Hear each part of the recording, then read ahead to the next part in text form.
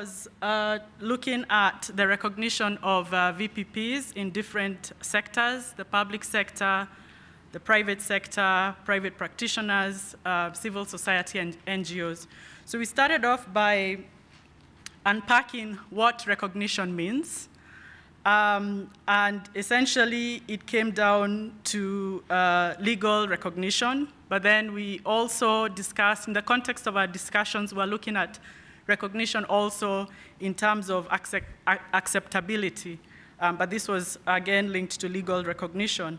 And unpacking also what that legal recognition means, um, it, it, it, involved issues around um, the description of work, uh, the clarity of, uh, of, levels of training, knowledge, and experience, the adequate uh, tertiary qualifications, clarity on who uh, can do what, what they can and cannot do, who they can work with, um, and management and decision-making issues. So it was not, we, we, the group felt that it was not just a statement that this group is recognized in the law, that actually then means, has, has to mean something else. So we discussed um, uh, the various um, inputs around what constitutes um, recognition. We then looked at um, recognition of VPPs in the public sector. Uh, and it, it um, what came out of that was that even within the private sect public sector where uh, VPPs um, would be employed by the government, that's why they're in the public sector, there are still issues related to recognition. Not necessarily the legal recognition because they are part of, of the government, um, but, uh, but other, other, other areas related to that uh, legal recognition. So for example, um, issues around um, uh, career progression, issues around lack of clarity on uh, schemes of service, issues around uh, supervision and oversight, um, uh, and re remuneration as well. And basically, um, progression was not just seen as career progression, but also academic uh, progression, and I think that was mentioned in, in the first group that presented, group number two, I think. Um, uh, yes, and, and uh, yeah, so that was, that, was, that was the discussion on the public sector. And the overwhelming sort of conclusion was, was that the law needs to make space for, for all actors. So whether or not um, uh, you know, because uh, in, in, in some countries, they seem to just uh, clump all the public sector workers in, into one category, but we needed to actually then uh, unpack that and have the law um, be very specific, or the practice also be very specific on who can do what and how they are recognized. We looked at the public, private sector um, uh, together with the private practitioners, and that was uh, extremely interesting. There were various views from different countries. Uh, we had views from South Africa, Nigeria, Botswana, Kenya, Sudan, Ethiopia, where it was very clear that countries have variant, various levels or variant, various degrees of recognition and the actual practice of how VPPs can work in the private sector or even um, operate as private practitioners, so like opening their own clinics and, and so on and so forth.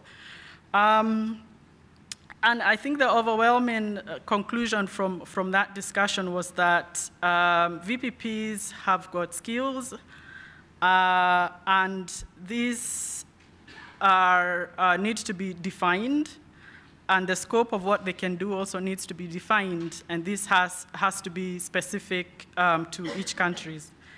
Then with NGOs and civil society, we also looked at that. Um, and uh, there was a few examples given for, in, in, for different countries and, and what the experimentation they, they have with, uh, or what the, the, the, legal recognition in those countries say. But it was felt also that in terms of uh, the actual practice, there, there needs to be strengthening of, of, of the practice and, and looking at uh, particularly the area of uh, supervision of, of, of um, uh, of supervision of VPPs who are working in NGOs. So if an NGO perhaps has, is employing VPPs, then what, what, what link does that have with, with the actual um, veterinary services? Um, so we then attempted to look at uh, the recommendations and, and what the take-homes would be and what, what needs to happen after this. Um, and I think what, what, what was really clear was that um, there needs to be goodwill. The word goodwill was, was really used. Um, this is an area that we have seen in the last two, two, two, two days that you know, there are various uh, views on this. So goodwill, goodwill, needs to be built by all, uh, in all actors, and this can, can be done through um, using means of including all cadres of veterinary paraprofessionals, including, we did discuss also the issue of community animal health workers briefly, and we said that um, uh, we cannot look at one area and, and ignore the other area, so that also needs to be, to be done.